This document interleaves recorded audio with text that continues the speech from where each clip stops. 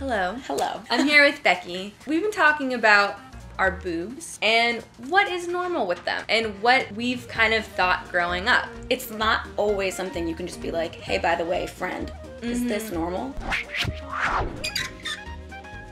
What were some of your insecurities growing up? Oh my gosh. My biggest insecurity is how my nipples look. Yeah, I plus one that. Straight up. I think they have a weird shape. I think mm-hmm. they're really big. And I think that they are oddly colored. And I remember in junior year at a pool party, you could clearly see my nipples through even my very padded bathing suit. And this kid, Paul, was like, oh, Becky's turned on. And I was like, that's all he said. That's all he said. And then he went away. And I, like, it still haunts me. That is so rude. so rude. That's embarrassing and that's mean. And if any people are watching that would say something like that to someone, you. don't. I was self conscious about, well, the shape of my boobs. So I've always had very small boobs, right? Mhm. Like growing up tiny, I always describe it as being like a chubby 11 year old boy. Like those are what my boobs look like.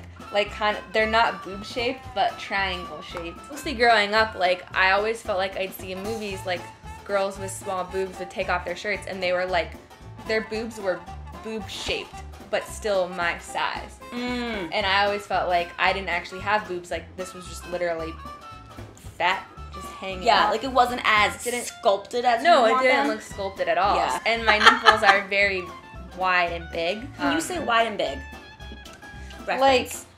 like wide. I feel like the areola is pretty spread out. And then also one was slightly bigger than the other and I'm like, is that a normal thing? I don't know. okay, but I feel like mine are very uh pronounced. Like I have Like- like, it's like a cupcake. Oh, I've seen nipples like that. Have you? But when I was about 11 or 11 to 13 is when puberty obviously hit Mm-hmm. and more hair started to grow.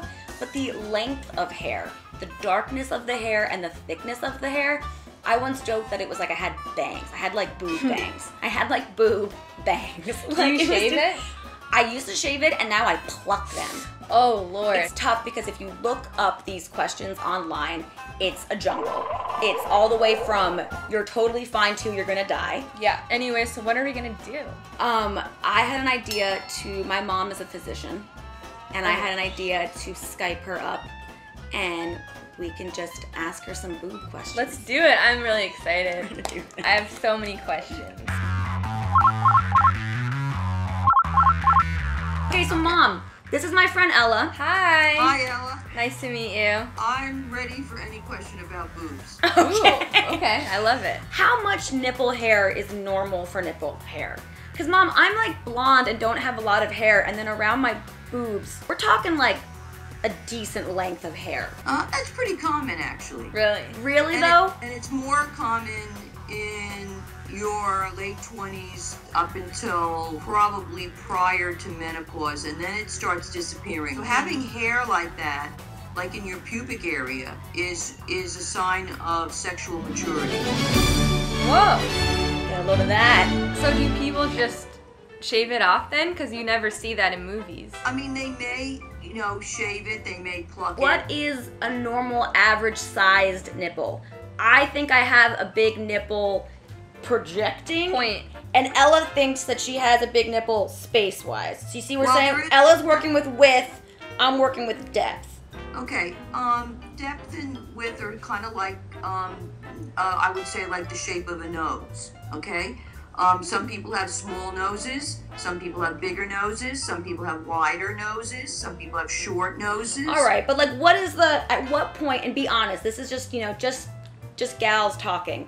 At what point would the, the size of the nipple, would you see a patient and be like, oh God, Well, I think if I, you know, if it was on the on on top of the shoulder, you know. All right. Oh my god.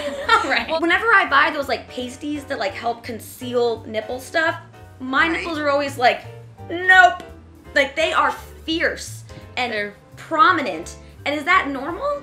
Yeah, you're you're normal, Becky. There's nothing. I mean, I would be the first to let you know if you were abnormal. Yeah. You would tell me?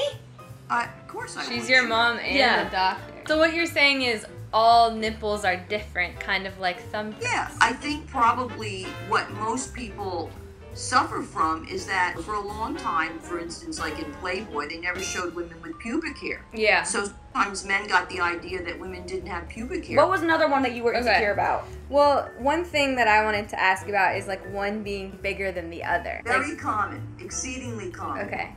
There can even be a difference in nipple projection. Sometimes a nipple will project down. Oh. I've heard people say like, don't wear a bra at night. That's BS. I mean, you know.